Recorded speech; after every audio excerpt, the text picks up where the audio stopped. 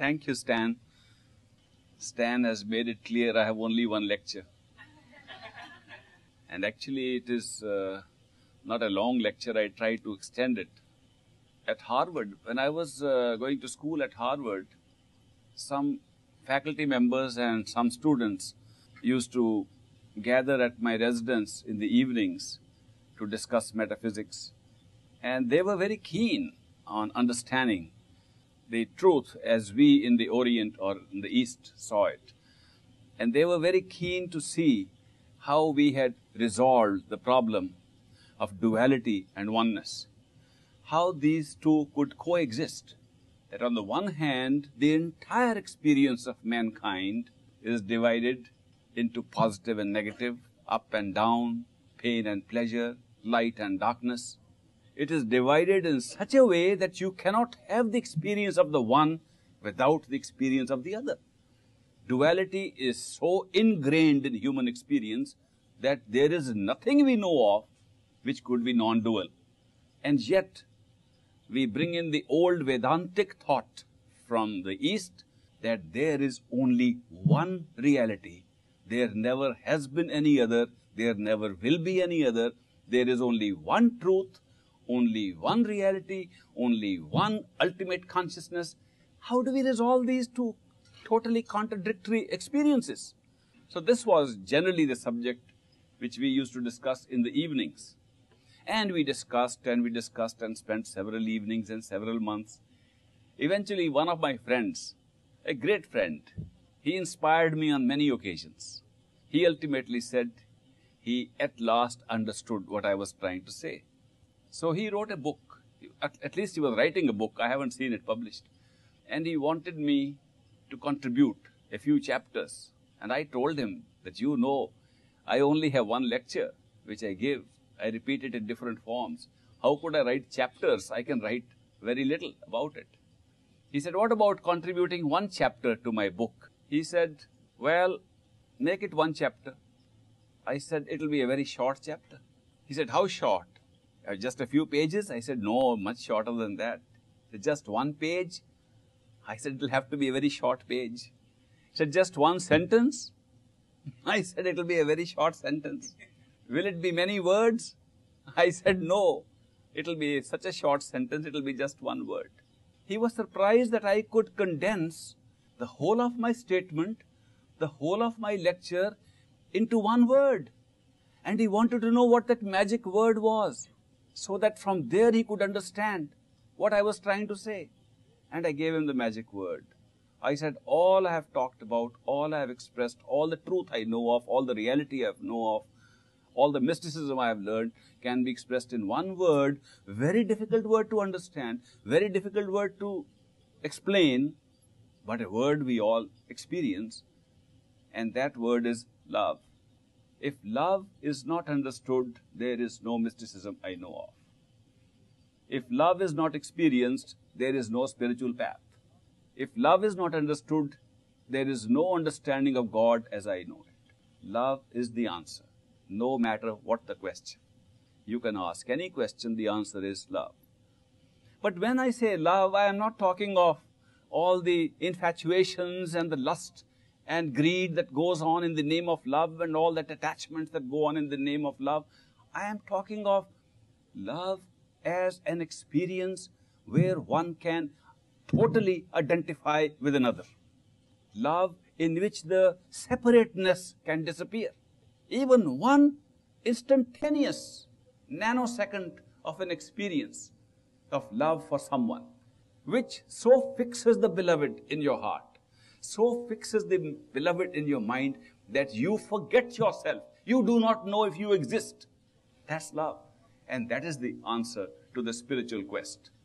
That what is making us separate from truth and reality is the mind that cannot understand love, that cannot experience love, that cannot express love, and yet can understand separateness and wants to look at everything separately. I said love, and our mind quickly sees, let me look at it. The mind must become a separate examiner, a separate observer of what we are studying. It can never be the observation. It can never be the truth. Supposing the truth is one and cannot be split, and the mind cannot be the subject of study, it has to be the student, and the subject has to be separate, the mind can never know the truth or the reality. That's a fact of life. That the mental apparatus that we use, the logic that we use, the reasoning that we use is incapable of understanding what the truth is. The best contribution that intellect and mind can make to an understanding of the truth is I can't understand it. When the mind says, This is beyond me, it has gone as far as it can in understanding the truth. When the mind, if it is very sharp, very clever, very smart, it can not only express helplessly, I can't understand it, it says, wow, I can understand my own limitation. I can understand that I have to operate in a certain framework which constitutes the mind. That I have to operate in a time, space, causation framework and without that, there is no mind. That the mind itself creates this framework. That if the framework is taken away, the mind disappears. When the mind can see this picture, and the mind can see its own shackles and its own limitations, and seeing those limitations can say, because of these limitations, the truth lies beyond me. That is an even greater contribution the mind can make. The mind cannot make a greater contribution than understanding its own limitation. But if the mind says, no, I am more powerful than people estimate. I am more powerful than you estimate. I can analyze and find the answers to everything. A challenge to the mind that analysis means breaking up and something that cannot be broken up, how can you understand it? How can you analyze something that has no beginning, no middle, no end, that cannot be broken, that cannot be seen in parts, that cannot be seen in stages, that cannot be seen as cause and effect, that cannot be seen in any form of a split identity. What can the mind do? It is beyond the mind. Therefore, the truth which these great mystics, the great masters, have revealed to us not by analysis, not by thinking about it, not by intellectualizing, but by personal realization, by personal experience, by going within consciousness and finding the truth, why they were conscious and how consciousness creates an experience or whatever they are conscious of. Do we have any experience of which can be absolutely certain that it is there? People see things and they say, yes, we can see something. We can see a cup of water here. But even in a dream, we see a cup of water and we wake up to find it wasn't there. It was created by the dream. People have hallucinations and they see the same cup of water and tell us we are seeing it and others can't see. How can seeing of a thing be proof it is there? What it proves is, if one can see a cup of water, all it is proving is that you are seeing a cup of water. It does not prove the cup of water is there. Experience proves only the experience, not the thing experienced. And this is where we get jammed into the great Maya, the great illusion, the grandest illusion which the Vedas described 10,000 years ago. And very good uh, transcripts, very good translations of the Vedas exist in the Widener Library right out here in Cambridge. In fact, that's where I first read them. That Maya or illusion, the grand illusion under which we are suffering, is not that the world is unreal and we take it as real. That is not the grand illusion. The grand illusion the human observer is suffering from is that what it experiences it takes it more than experience. What it experiences, it takes as real, beyond the experience. It experiences a world, and therefore it says the world exists even if you are not experiencing it. That's the grand illusion. Stay with the experience. Stay with truth. Stay with the statement, if I can see a cup, I am seeing a cup. Why do you want to go beyond that and say, I am seeing a cup, therefore the cup must be there even if I turn my head around? The truth is the cup is not there when you turn your head around. When you turn your head back, it is there. The experience is real, but not the things of experience. And the grand illusion is what creates all this world to be so real and incidentally creates unhappiness and problems and worries is that we do not take the experience as real, we start taking the things of experience as real. And as the things look beautiful and attractive and draw us, we start getting attached to those things. We start desiring more of those things. Experiences evolve in order to fulfill those desires. Because experiences in consciousness, and they are all conscious experiences, they are not experiences we know of of any other kind. They are either sensory experiences through senses, physical senses, astral senses where we are not using any physical organs but we are still experiencing, such as dream or imaginations. Or they can be causal experiences like pure thought about a thing. Or they can be spiritual experiences like experience of love, intuition, sudden knowledge. But they are all experiences. There's nothing objectively being proved. Some people say, well, you're going too far now. We can objectively prove things. If you see a cup and you say you are only uh, seeing it because you are seeing it and it's not really there, you can touch it and see. There it is. Why don't you use your other senses? That's a pretty good argument. It is like telling a man who's dreaming, in the dream he sees the cup of water and he says, I am seeing a cup of water, but I'm sure it's a dream. He says, Of course not, touch it. In the dream he touches, he says, Oh yeah, it's real. And he wakes up and found neither was the cup real, nor was the touch real, nor were those people real who told him to touch it. The whole thing was a dream. And the only way to know it was a dream was to wake up, not by touching it, not by verifying one sense experience with another. That doesn't prove reality. Only wakefulness to a higher level of consciousness could give the experience that the whole set of experiences at one level, including the so-called verification of its reality, was part of the same dream and therefore part of the same illusion. Such is our state here now. When people rise to a higher level of consciousness, they understand how the lower level was created in the first place. It was not created by an outside material physical creation, which then went inside their sensory perception into the brain and was picked up there. It came because consciousness experienced it by a pattern within itself, and then it flowed out through the brain, through the senses, and became a reality outside. And the great illusion was that it was outside and we picked it up, not that it was inside, and therefore it went outside. How do we resolve this issue? This is a question asked again and again. What is the causal direction of experience, of human experience? Are we having experience because something stimulates that experience outside and comes to us, and therefore we receive it? Or are we having experience because the experience is generated in consciousness and then takes place like it would if it were to come up from outside? Scientists who are like observers in the dream, they come up with explanations and say, you can study the sensory system. Take the cup of water again, the cup of water absorbing certain light and re- reflecting the rest throws near parallel rays of light into your eye. We can see the with other apparatus, we can see the light being reflected. And we can also see by putting the kind of microscopes we now have on your eye that these are being diverted. These rays are being diverted. They are being directed, focused on the back of your eye, on the retina. And we can clearly see all the rods and cones on the optic nerve that are spread out as the retina.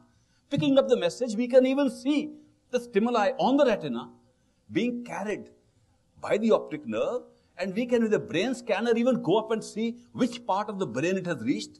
And we can see that when it reaches there there's the rub. If you are conscious you see the cup. What if you are not conscious? The rest is all taking place but you don't see the cup. So they end up saying that the cause of seeing the cup is the cup the objective material cup. And this flows through the nervous system, the optic nerve in this particular case, to the brain cells responsible for seeing. And it is from there that consciousness picks it up. If consciousness is not sitting there to pick it up and you are dead, you can't see it. But if consciousness is sitting there, then it picks it up. All right, let us make a few assumptions to study what they are saying. Supposing we are born with extraordinary retinae, the retina behind the eye can create its own image. Let us assume that the rods and cones have the ability, like several other parts of the body have ability. And we are studying more and more and getting surprised what abilities like antibodies have, the kind of uh, new studies going on to study AIDS have revealed new messages about the working of the body we never knew. That there are certain parts of the body sitting invisibly and they come up and become visible. And they are ready. Uh, uh, the other day I heard a lecture on uh, fat and fitness. There's a book on fat and fitness. And uh, the author was telling how it is not enough to diet to lose fat. It is not enough to do exercise to lose fat. You must develop a pattern so that your consciousness itself gives a suggestion, is ready. The mind itself is ready to say, I am going to do exercise. And the, the messages pass at that time before you start exercise, the fat is released and starts getting burned. So they have found new things that are happening in the body we never knew before. Supposing the retina of the eye has this facility to form its own pictures and forms the picture of this cup. And both retinas form the picture of the cup. The rest of the steps are identical. I will see the cup exactly as I am seeing it now. There's absolutely no question about it. Because there is nothing else to add on to that for seeing the cup. The only means I had to see the cup was the picture on the retina. The retina can make the picture, I'll see the cup exactly as I'm seeing now. There is no way. Not only that, any kind of microscope introduced to examine the seeing of the cup will show all the steps and all the scanning that has been done will show exactly what happened earlier with no conclusive evidence whether the retina had the power or the cup really existed. Forget that part. Let's say it's not the retina that has the power. It's the optic nerve. The optic nerve has the power to generate those signals. If it does, it will create the same picture on the retina and give the same message to the brain, and the cup will be seen exactly as it is. If you go a step further and say, let us forget that the optic nerve has any power, it is only the brain that works. If the brain cell responds exactly as it would respond if the nerves had sent the message, it will send the contrary opposite message to the nerve, create the image on the retina, and we'll see the cup exactly as it is. Go one step further. Let us assume the body has no such function, but the consciousness that picks up the message from the brain. That alone has the power and flexibility to create an image. And it creates this image. The brain picks up and gets the same changes in its structure, the molecular structure. The same message is sent through the optic nerve. The same hap- thing happens on the retina. And we see the cup exactly as we are seeing now. Where is the proof? What is the causal direction of experience? Is consciousness creating experience or is consciousness picking up experience? Well, these learned philosophers say that's not a very difficult question. You are again talking of cause and effect. You are saying what is the cause, what's the effect? Is the experience a cause of the things or are things the cause of the experience? That's very easy to prove. Whatever comes first must be the cause. What happens later must be the effect. Okay, we'll take this cup away, you don't see it. We are putting this cup in front of you, you can see it. Obviously, the cup is the cause, and your seeing of it is the effect. And this is again going back to the dream state. In the dream, a person wants to convince me the cup is not a dream, but is real, and takes it away. And then puts it back again and says, it's not a dream because now you can see it. When I wake up, I found neither the cup was real, it was still a dream, nor were those people real. When I am examining the nature of vision, how can I then rely upon an evidence of another visionary source, like a person telling me if the cup is there or not, or removing it or not removing? That's a great fallacy. Is it possible for me without evidence of people at the same level of consciousness?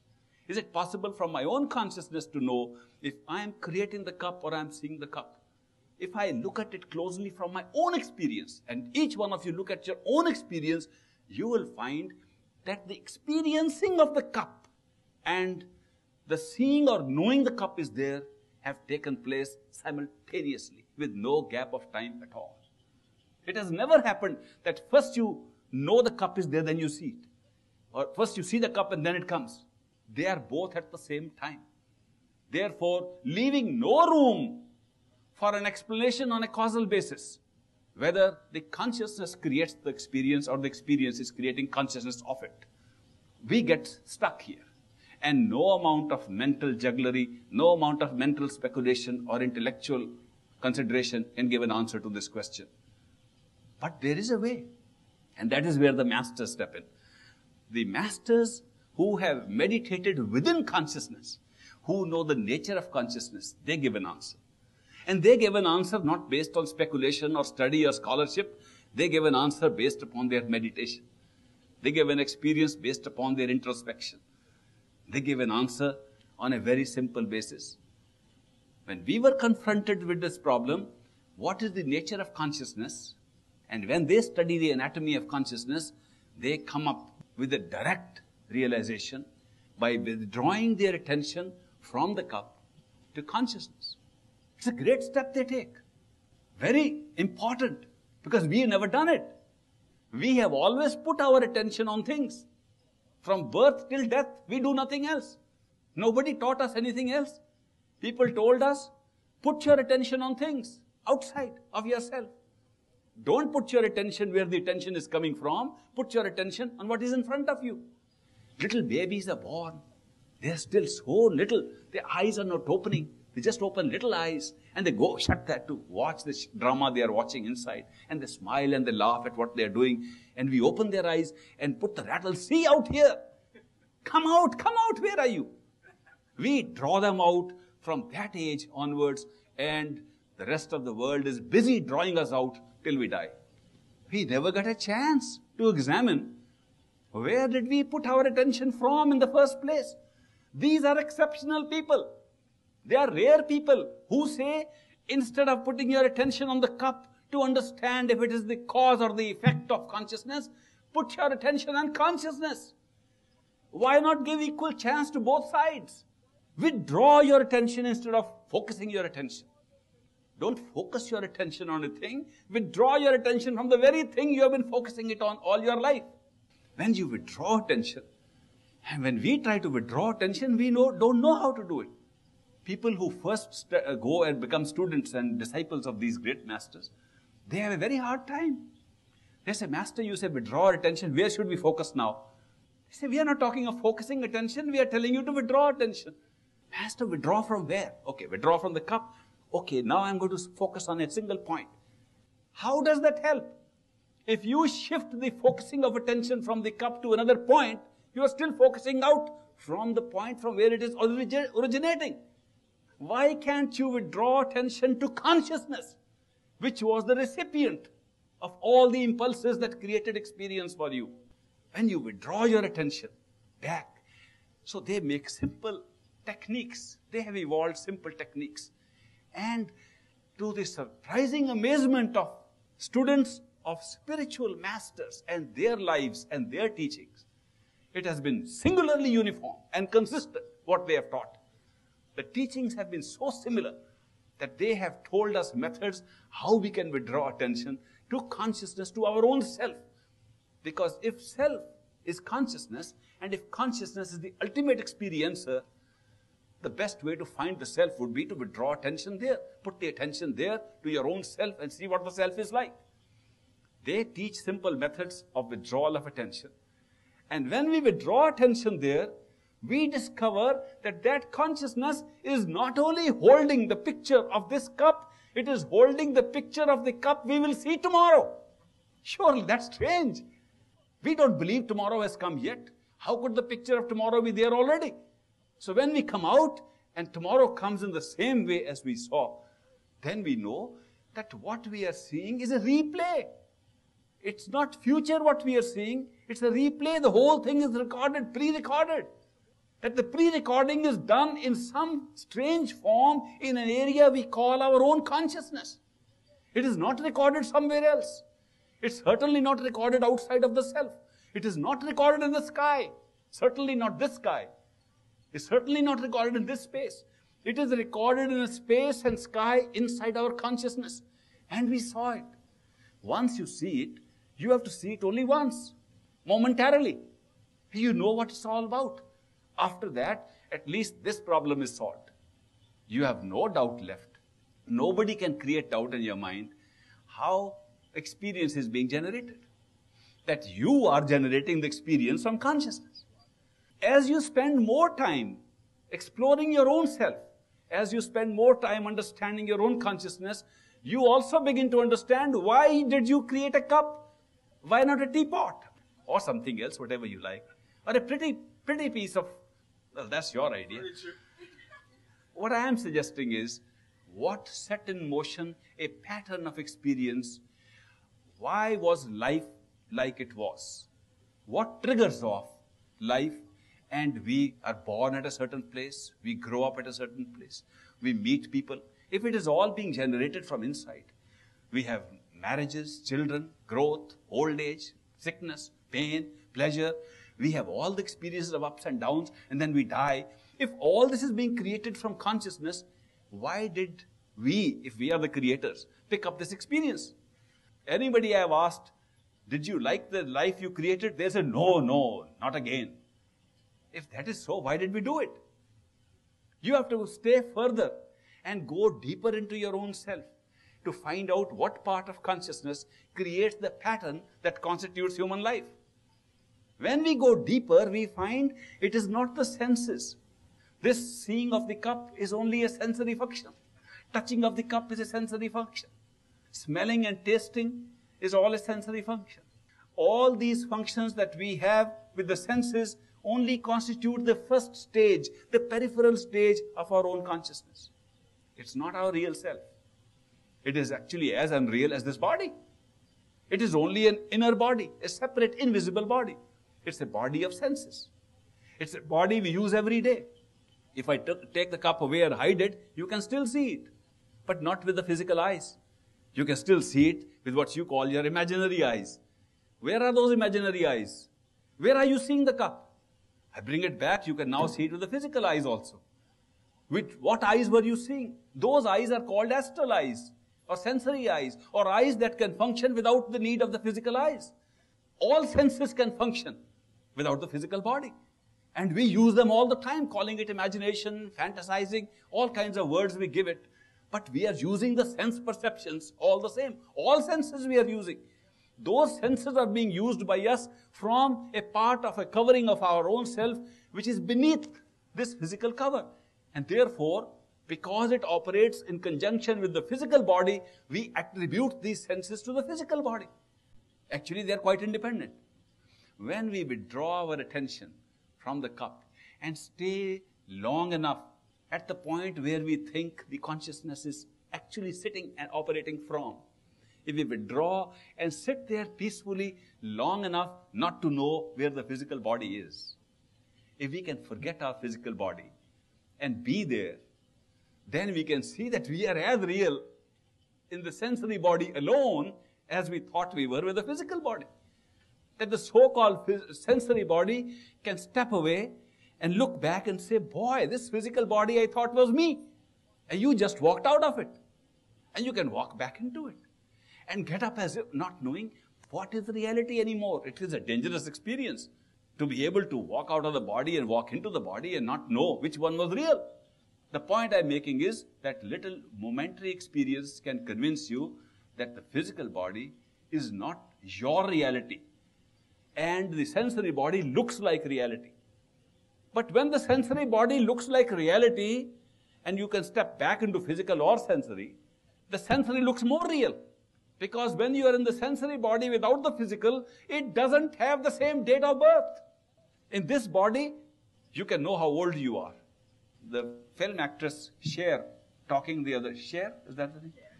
In fitness program, she's doing more fitness program.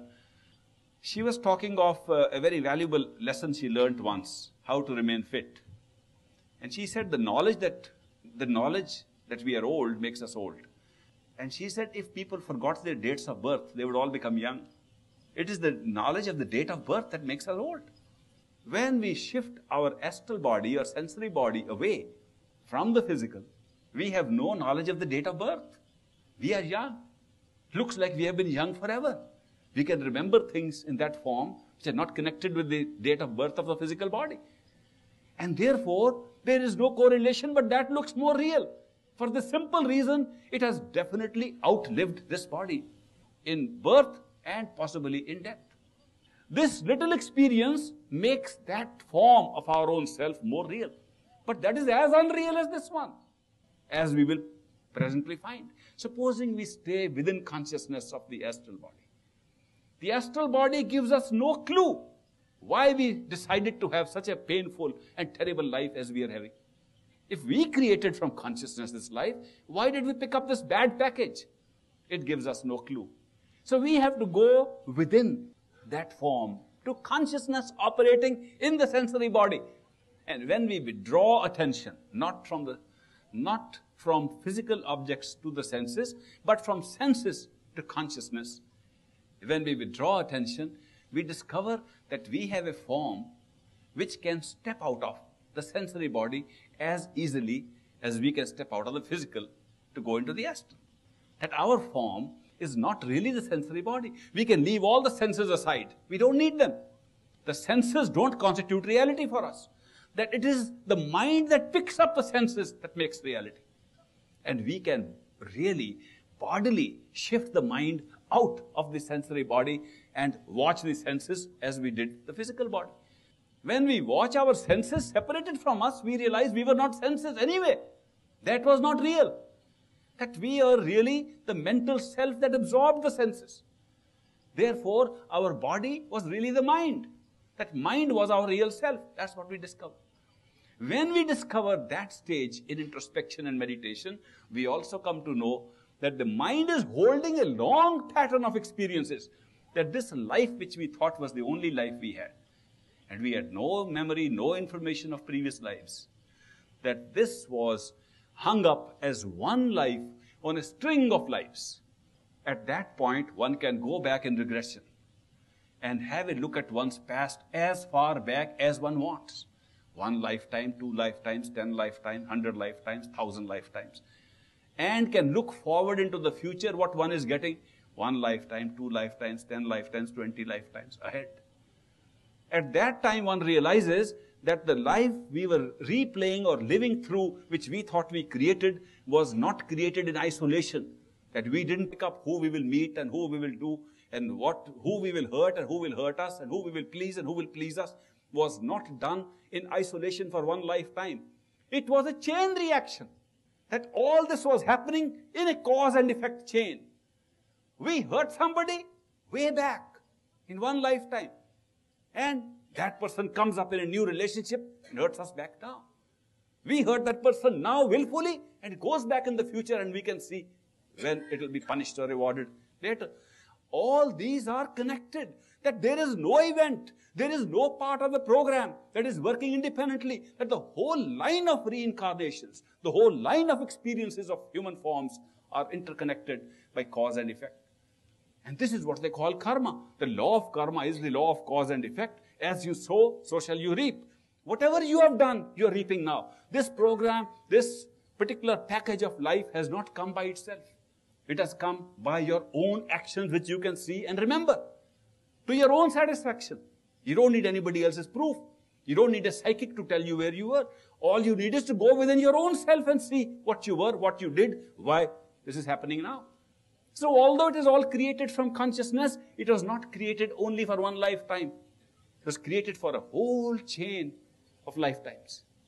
In the epic scripture, Mahabharata, in, I don't know how many of you have heard of that, Mahabharata is one of the epics in which uh, one blind king can remember previous lives. In, in Sanskrit, in the original, it is written that when he was able to remember his lives, he looked back on 100 lives and he saw he had never done anything to be blind. So he got very concerned that this law is not operating properly because I did nothing and still blind. What kind of law is it? And everybody says the law is the one that prevails, this law. This law is so inviolate that it operates almost automatically. This law that is always prevailing, why didn't it prevail in my case? So he asked Krishna, who is the avatar, who is the, uh, the, the incarnation of Vishnu in that epic story, Krishna, and he talks to Arjun, and then Krishna is asked by him, Dhritarashtra, the blind king, I have seen 100 lives of my own in my previous, in my meditation of my previous 100 lives, I have done nothing to be blind. How come the law is not prevailing anymore? Krishna laughs and says, Go back further. So he goes to 104th life and he finds he did something. He shot out the eyes with an arrow of one of the animals he was hunting. And that stayed on the record and did not come back till this life when he was a king. So a life is not picked up exactly like a carbon copy of the previous life. It picks up its elements from so many lives. And since all that we do cannot be accommodated in one lifetime, it is kept in reserve, which is called the Sinchit. A reserve of this causal sky, not the sky, not the astral sky, not the sensory sky. The causal sky, where the mind alone is the body, where the mind alone is the self. And that holds all these elements of our own past actions. And from there they are picked up and a package is prepared for one lifetime. So he saw that even after 104 lives, he could still come and pay off by being a blind person. We do not interpret the Bible like that. But people are sometimes puzzled. I remember uh, oh, at Harvard, people were puzzled by the statement there when a father brings his blind child to Jesus and says, Master, this child is born blind. Is it the fault of the child? Is it the sin of the child? Or is it the sin of the father that he is born blind? And Jesus answers, No, it is neither his sin nor his father's sin. It is that the law may prevail. And people say, What law? What law may prevail? Of course, the Easterners understood it immediately. What law will prevail? Because they had heard the story even before the Bible was written. These stories are recorded in the Upanishads and the Vedas much before Jesus came.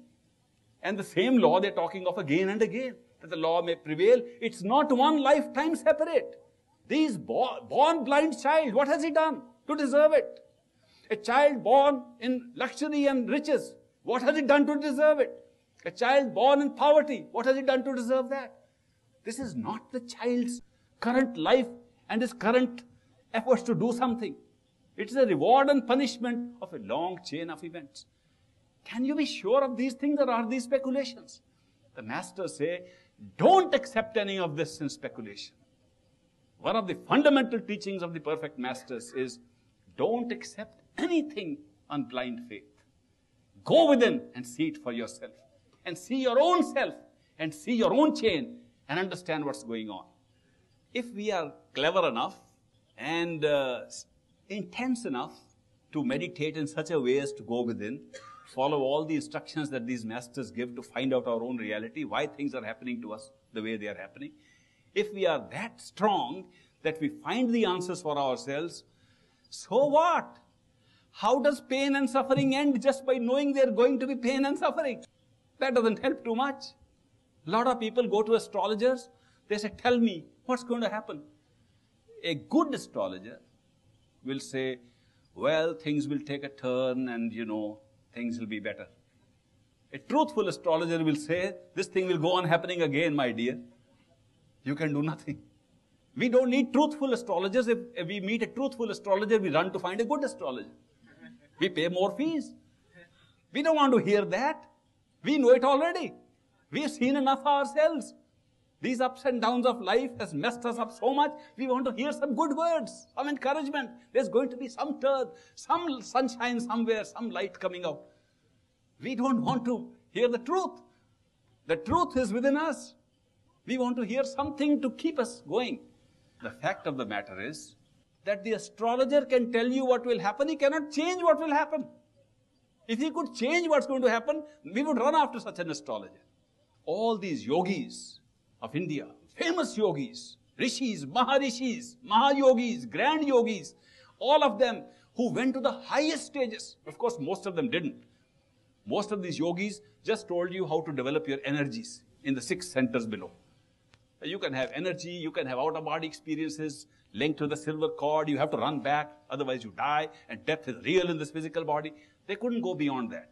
They just gave you strange, exotic experiences they told you how you can fly uh, or have the experience of flying or levitation that you are not touching the ground.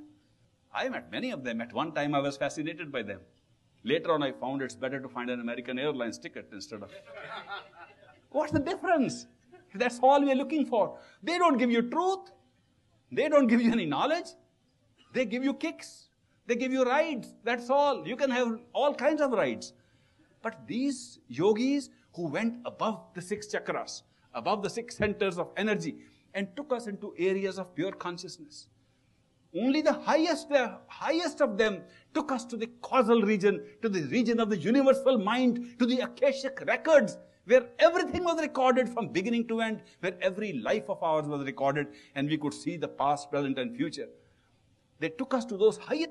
I once again point out to you, rarely have we come across a person whom we call a perfect living master, PLM for short. a perfect living master who can take us beyond the, beyond the area where this karma is created.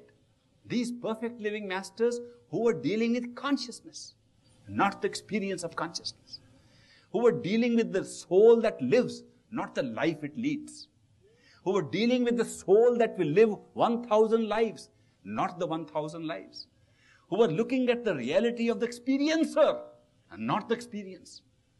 These deep mystics who could go beyond experience into the experiencer, they discovered that if you go within your own self and not get trapped by the continuum of lives, you can really skip the whole apparatus that creates the lives. They found out that what creates this linear time sequence of lives is the mind. That the mind is not the self. The mind is not our self. Mind is not consciousness. Mind is using consciousness and becoming real.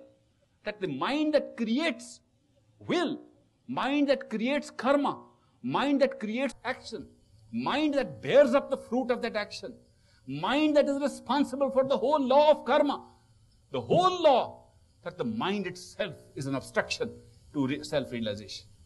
Those were rare mystics, very rare. You would find those books very rare where they said that this whole business of good and bad, the whole business of choice, the whole business of past and present and future, the whole business of cause and effect, all this business fits only into time. That if time were not there, you would have none of this stuff.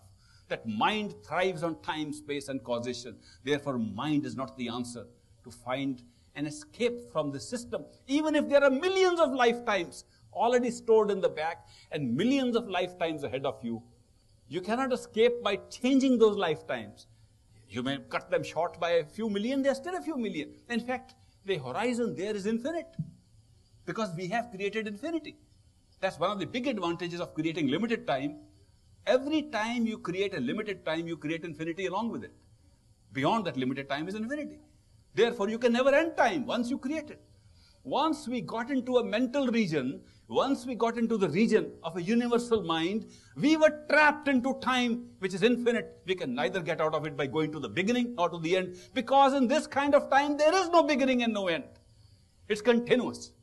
These perfect living masters discovered that to get out of this big trap, the biggest trap, a trap much bigger than the Maya of this universe, an illusion much greater than the illusion of this world being real or unreal an illusion that traps you into infinite kind of rebirths, an illusion that traps you into time from which you cannot escape. To get out of this illusion, the solution is still the same, but very few people know it because they cannot pierce it. The solution is go within your own self, your own consciousness. Don't regard that mind as yourself. Go within the mind and find what consciousness without time is doing to create this experience in mind. And when you go within and discover that mind or the thinking faculty or the faculty that creates cause and effect is just a cover, you can step out of it like you step out of this body in the astral form. That the mind was nothing more than a body. That the mind was nothing more than a cover. And you can step out of it and step back into it like you stepped out of this in the astral form and got back into the physical, that the mind was not yourself they were able to not only prove to their own satisfaction by experience, they helped through the techniques they themselves used, their own disciples, to have the experience of transcending the mind and finding their true self. A consciousness, a soul, a spirit that was not bound down by time. A spirit for which a moment or an infinity were identical. A spirit which could see the entire structure of millions and trillions of lives in one flash. That kind of consciousness. When they discovered that the true nature of the human consciousness was so different from what we had been assuming, they wanted to share it with others. They wanted to share that experience and exploration with their disciples. There were very few disciples who were ready for it. There were very few disciples ready even for the first stage. This was way ahead advanced, advanced, super advanced course for their disciples. So they decided to pick up those who were ready. So they looked at the experiences of all these floating souls in this universe, created universe. Where were these souls floating? And some had gone through this round so many times that this love and compassion, which was natural to the soul, did not have to be cultivated. Just like reasoning was natural to the mind. Just like seeing and hearing was natural to the senses. Just like physically sitting down and feeling weight was natural to the body on this planet. Similarly, love and intuition and beauty was natural to the soul. In that love and compassion, which was natural to their own being at that time, they looked around and saw how these souls, afflicted by the mind and attacked by the mind and going round and round in circles in this whole creation, were suffering so much out of compassion. They picked up some, said, No, this one deserves to come out of this cycle, has had enough. This is too much. And they said, In any case, these souls are not separated. It's only a separate experience created by the mind. They are not separate. They are one with the Creator. They have always been one with the Creator. They are not really separate, but they are having an experience of separateness. They should be picked up. And from that came the great event of that power which is the Creator itself landing in our midst in the human form and having what are now called marked sheep or marked souls for a shepherd. That they picked up those who were destined to go and have that experience of the inner flight beyond mind, and they were picked up as marked souls, marked because of the experiences they have had over several lifetimes. And that karma was considered to be so good, even if you are suffering. But the total accumulation of karma till now was so great that you could come across your shepherd, your master, for whom you were a marked soul. That was a great experience. That is why these marked souls, in the course of their same lifetime, through which they were going through ups and downs and not knowing what to do, they began to develop in their hearts a seeking for something that they could not see, a seeking for truth, a seeking for a reality they could not understand with their mind. And when that seeking grew, they said, there must be something more. And while they were doing this in their own heart, in their own selves, sometimes talking to their friends, sometimes not talking, not to be misunderstood by their friends, and just passing life, feeling nobody understands fully what's happening in their heart. While they were doing this, by a coincidence comes along a person.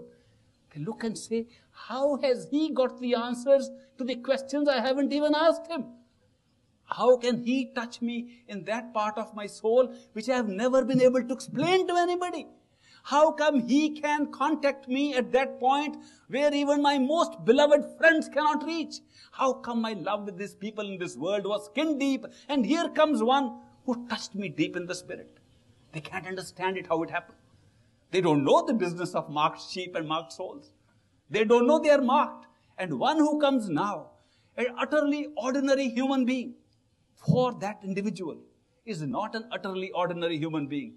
Because for that individual, that person who comes at that time in life is the one who represents the consciousness of the seeker in the highest form. And therefore, it is that person who then brings up the subject of spirituality, brings up going within, introduces true meditation, takes one beyond the pale of the karma, beyond the pale of mind, beyond beginnings and ends, beyond any law of ethics or morality, beyond choice, into the region of love, joy, beauty, intuition, total knowledge. Such a person, when he comes, he is not regarded by everybody as that great person who, who has contact with the highest level of consciousness. Some people say he's just a charlatan. Some people even want to kill him and actually do. Some people kill these people because they say they are, they are uh, messing up with the lives of people. They are uh, uh, misleading people. Some people say they are the Satan, devil. Some people use some excuse to kill them because it affects their business. But the person who is marked as a sheep says, This could not be an ordinary happening. How come I'm getting answers to my questions which I had hidden in my heart for so long? Because I knew nobody can understand them. How come I am now being touched by my own self? How come I can go within my own self and have a feeling of who I am? Such people are actually PLMs, perfect living masters. Such people are in fact perfect living masters for the marked souls. They have come and appeared in our experience for the sake of those marked souls. When they have done their job and they picked up their marked souls, they go, disappear.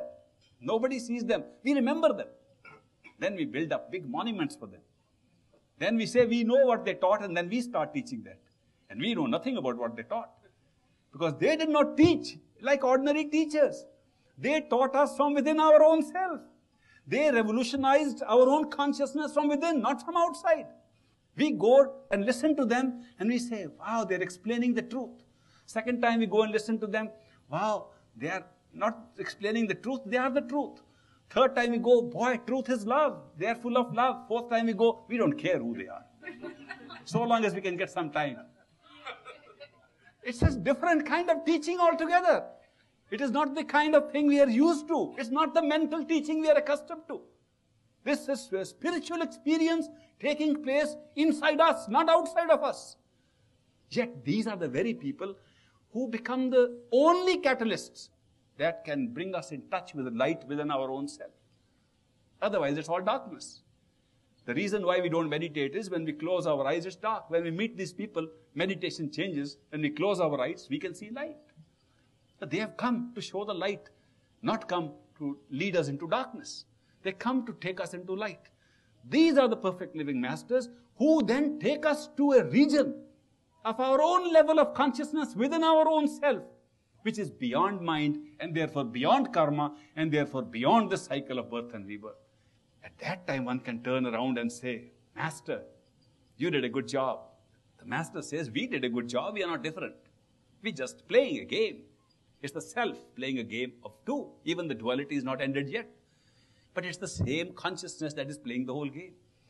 Then we have a right to ask a question Master, if this is our reality, that we are in fact love and beauty and joy and spirit and soul, and our consciousness consists only of these beautiful qualities of so much rejoicing, so much happiness, how come we chose as as the creator. We chose to go into that mess.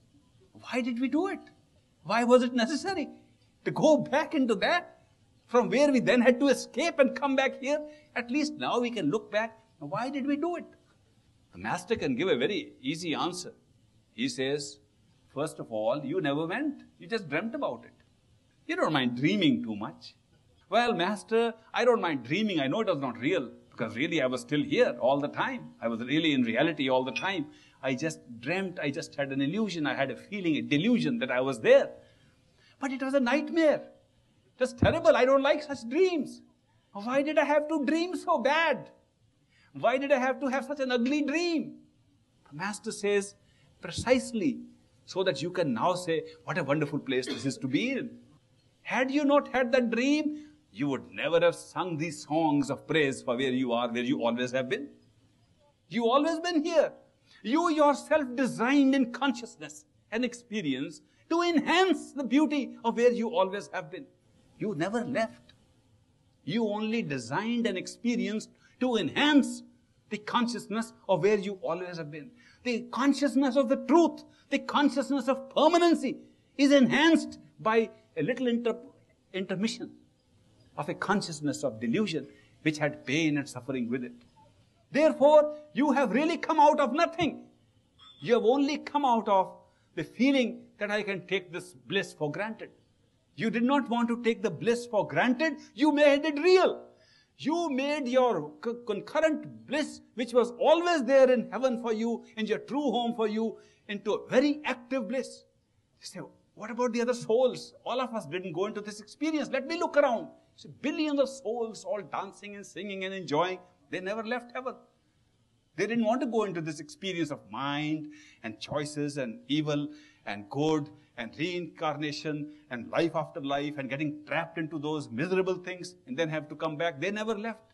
In some of the scriptures describing the state of spirit or soul as it experiences individuation in its creator.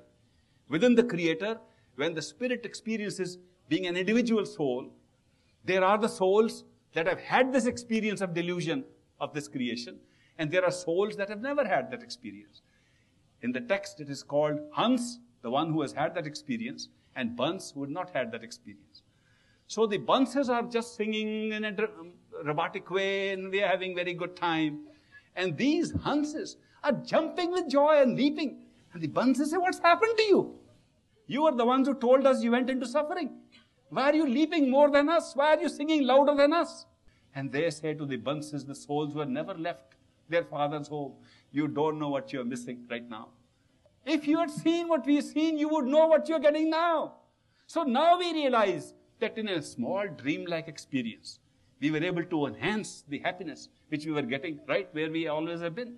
We never left this place. It all happened here. It all happened in delusion in consciousness. But the way it happened has brought us back.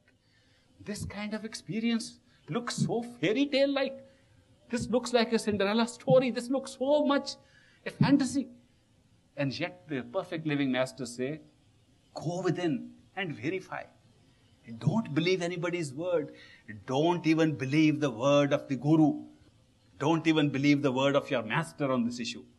Go within and verify and check it out for yourself. Then only believe it.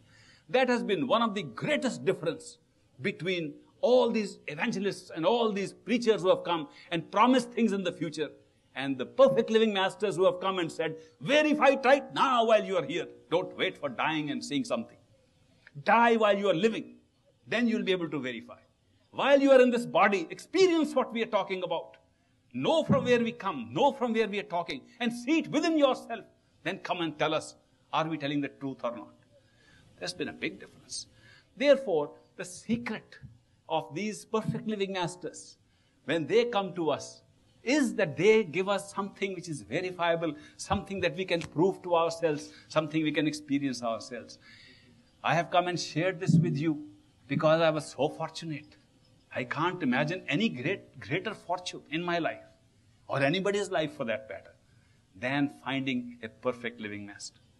I found a perfect living master, so I thought actually perfect living master found me.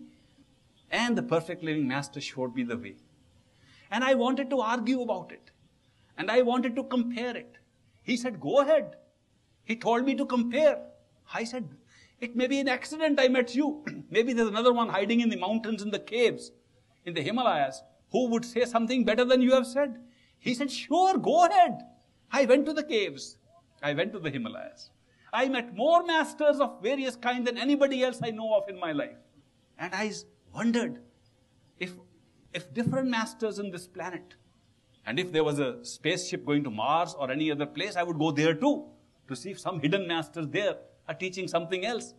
Whatever I found out now, and I have just passed my retirement age, 65, in this life, where I'm supposed to be retired, though I make still cookies, some, some of these cookies, I have found that what the perfect living master told me holds true. The method he told me is a natural method. He did not invent it. He did not create it. The same creator created the method who created us. The same creator who made us human created the method to escape from the misery of this human life. That the method was within us, not outside. That we don't have to go anywhere. That the true church, the true temple, the true house of God is this body. That whatever you want to discover must be discovered within the body. That all scriptures are correct if you read them at the different levels of consciousness from where they are written and to which they are making a reference. That there are no contradictions in any religions that the contradictions are being created by the mind which cannot see beyond the mind. That if you were able to study what is love, if you were able to experience love, contradictions would disappear. That love is a phenomenon that changes you automatically. That love is something you don't cultivate. that comes when you reach a certain level beyond the mind. That the thinking mind is messing you up more than anything else. All this knowledge came up not by study. In fact, I was a very uneducated man till I came to the United States. Then I read a lot of books because people began to quote page numbers. Have you seen that this is recorded on page so and so? I had to run, buy a book, and see the page number. But once somebody surprised me when he quoted, he said, Why do you always talk of the third eye center? That's what I was taught. It worked. I thought it's fair to share that meditation must be done at a proper place. People were meditating. It was a big, it was a big movement in the United States in the 60s. People were meditating. And every time I asked, where do you meditate? They said, we have a special corner in our house. We have a special rug we brought from Tibet. We have a special thing with the candlelights. They all referred to physical things. I said, is that where you do meditation? How can you make any progress? If you put your candles and do meditation, you will always think of the candles, even with your eyes closed. If you got a nice Tibetan rug and sit on it and do meditation, the Tibetan rug will take your attention however long you sit. How can you be successful in meditation? By meditating on things that are outside. They said, What do you mean? I said, My teacher told me that to do effective, successful meditation, you must sit behind the eyes inside your head that unless you are seated there, don't even think of starting meditation. That if you want success in this program of going within, first start by going within, by closing your eyes, imagining you are behind the eyes, knowing you are in a physical head, becoming conscious of that location, then start meditation. So that your attention gets locked into your own self, not outside. How come you didn't know this? I said, my master's message worked very well. Then somebody challenged me. That's where I was uneducated, you know, because I didn't read books. They said, Who was your master? I said, Great master, Baba Sawan Singh. Who? the one who wrote spiritual letters. Is that spiritual gems? There's a book sold here in this country called Spiritual Gems. They are letters written by the great master, my teacher. They said, How come you talk so much about this sitting inside the uh, third eye center? Your master never mentions that. I said, I haven't read that book. Let me have a copy. So in 1962, I got hold of a copy of Spiritual Gems. And it was so fascinating. Boy, I couldn't stop till I read the whole book. But every time the great master in one of his letters say, do not even start meditation till you sit behind the eyes at the third eye center, I put a little tick mark. Before I had gone through half the book, I had tick marked 20 places. So I said, Stop it, I don't want a tick mark anymore because they thought my master never said this thing. So next day I asked that man, Have you read this book? Yeah, several times. It's great. How do you use this book? I use this book like astrology. When I have a question in my mind, I open it at the right page, the answer comes, it's always right. I said, Is that all you do? No wonder you never read where he says, Sit behind the eyes, because that is not part of astrology. That's part of meditation. I gave him the book. He was uh, sh- shocked that he had gone through the same book so many times and he had always missed those pages where I had made the tick marks. That the great master thought it was so important that to be successful in meditation, you must sit at the right place within your own self. In this workshop, I'd be very happy if I can encourage those who are seeking the truth just to learn this one lesson of how to sit behind the eyes and do meditation there. You can do any meditation at this stage. I don't care. Because even if you sat behind the eyes and did no meditation, you would see the light. The truth is, the light is there all the time in everybody. The light is there even among good people and bad people. The light is there in all human beings, whether good, bad, virtuous, vicious, because all were made by the same Creator. There's a story of, not a story, true story, of a gangster who came to Great Master. His name was Shadi. Joel likes the stories of Great Master. Right, Joel? So I'm repeating it here so others can also hear. There was a gangster who used to rob people and kill people. and he decided to rob the headquarters of the Great Master because he heard that many disciples were going to contribute gold, their gold ornaments and their gold holdings, in order to gold plate the domes on top of the temple which was going to be made. He said this is a good time to have a quick pick of a lot of gold assembled at one small place. So he came on a reconnaissance mission, recce they used to call it. He came for a recce. And he said, let me find out who these people are. He discovered that the great master in the evening at 5 o'clock gave a discourse, gave a lecture. And everybody used to go there. So when everybody is away, some, somebody must be left there to guard the gold. So we'll just walk around when the lecture is in progress and find out where the gold is. When he went for this recce, this robber, this gangster, when he went around, he found it as even easier than he thought. Because he, when he went there to the different homes, there were very few homes in that area at that time, he found that not only were all the people away to the discourse, they had left little, little children to guard the gold. So they, he went and asked those, one of the children, why are you here? Why haven't you gone to listen to the discourse? The child said, I am guarding the gold. He said, where is it? Right there. It was so simple. And he found that he could make a list and spot out all the gold in one short half hour round. And after his half an hour, he was ready to bring his uh, companion gangsters on another raid one of these days and just grab all the gold while the discourse is on and go away. So he left. When he was leaving, it suddenly occurred to him. Now that's the strange part. There's something in him that said, they call him a great master. What does he teach? How can people leave their gold and run to listen to him? What is he saying after all? So, out of curiosity, he decided just to go and stand at the back of the audience to listen to what he's saying. And when he came and stood at the back of the audience, at that time, great master was saying that word, that Shabad, that creative power, that created even the creator, that power is in each one of us and can be heard within us. Even gangsters have that power. He got shocked like this. He said, Boy, how did he know it? How did he recognize that I was here? He couldn't move. This experience had never happened to him before. That somebody without introduction could tell who he was, that he was a gangster. He couldn't move from there. He stood there. He waited for the discourse to end and walked up to the great master and said, Great master, how did you recognize me that I was a gangster? Great master said, I didn't recognize you. What made you think so? He said, When I came there, you said that great power, the power of the word, the creative power is in each one of us, including gangsters. Great master said, I say that every day. I didn't mean it for you. He said, Don't play this game with me. Don't try to play this game. The more the great master acted humble and human, the more he got convinced. Now he's hiding the truth. I'm not going to go he decided not to go. He never left the great master from that point onwards. He said, I have come to stay. I have found out something. Great master, first I thought I had come to rob you. With one word, you robbed me. And after you robbed me, I am now discovering I am still robbing you, but of a wealth much better than any gold in this world. Great master said, There's one condition. In this center of mine, you have to work to make your living.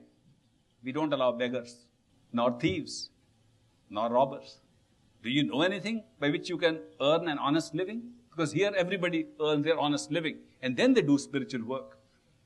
Even though I am considered a master and people come and listen to me, I go and work on my field and make my living from there. I get my pension from the military service I did and I live on that. I have never taken anybody's donation for my personal life. Here is my jacket. He had long big jacket and an inner waistcoat, small pocket. Here, small pocket contains the change of his pension. The big pocket contains donations for use in the center. I never mix them up. You can't mix up Shadi. If you have to live here, you have to work for your living in an honest way. Shadi said, I'm willing to do anything. He said, What do you know? He said, I know how to rob. He said, Don't you know anything else? He said, But I have never done anything else. I only know how to steal and rob at gunpoint or at knife point. I have never learned anything else. Great Master said, during the course of your career as a robber, you must have learned some other art also. He said, Oh, yeah, I, I had one art. In the truck in which we used to escape, the getaway truck, when it used to break down, I was the one who repaired the dynamo and the electrical system. Great master said, Good, go and get a dynamo and start repairing it. and get paid for that. So Shadi went, got a dynamo, and he worked it. And for the first time, an electrical lamp was lit up in the house where the great master lived. And Shadi worked on the generator and improved it, and he spent his life serving the great master. And he made such rapid progress that people were annoyed with the great master. That you are giving more grace to a robber and a thief than to us holy men who are sitting at your feet for years. The great master said, he has no such idea that he is a holy man sitting at my feet for so long. You have this idea, so you will take longer. The more humble you are, the quicker you go. He has no such idea. He thinks he's a gangster. He's working on pure grace. And he's an intense person.